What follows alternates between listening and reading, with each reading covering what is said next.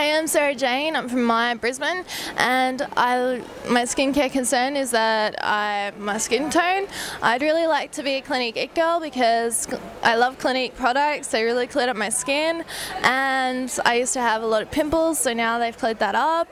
Um, I'd really, I really think that I'd be a great Clinique It girl because um, I've been trying to get into the industry for a long time as a model um, since I was 12 years old. So now I'd really like a chance and vote for me, Sarah Jane.